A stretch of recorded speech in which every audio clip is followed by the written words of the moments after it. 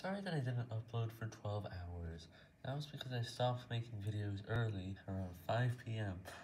And there have been long gaps in the past, like when I was traveling to Canada, there was a 13 hour gap between uploads. But I'm sorry I didn't upload for so long. Hope you guys have more videos.